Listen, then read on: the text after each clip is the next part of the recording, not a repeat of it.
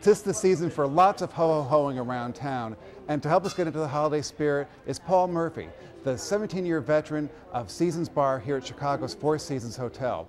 So tell me, what drink are you most excited about this holiday season? Well, it's the holiday season, so it's the Jack Frost, which is probably our most popular cocktail. White Godiva, start with that. And how much of that? About an ounce and a half. And then some vanilla vodka, same again, about an ounce and a half. Most of our martinis are around three Okay. ounces, so. And then you just need a little splash of peppermint. And give it a good shake. Okay, your hand's frozen.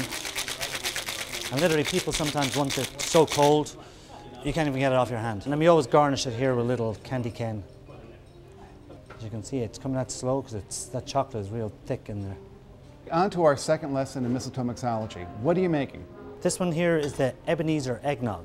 Everyone loves eggnog at Christmas, so it's two ounces of Kahlua to one ounce of eggnog. And again, just shake it until you feel that little bit of nutmeg on top there.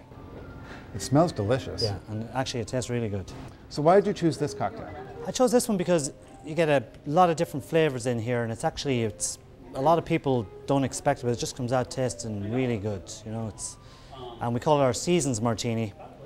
We use uh, Pistoia orange, little apple pucker, Finlandia, cranberry. It's kind of festive again for Christmas season. So just put a little splash of cranberry, and then I put about one ounce of uh, each of these liquors. And that really looks Christmassy too. Well, there are three drink recipes that I hope will get your holiday party off to a spirited start. Look for me in the Good Eating section of Wednesday Chicago Tribune and Sunday's Q section. I'm Bill Daley for the Chicago Tribune. Happy holidays. Oh, ho ho.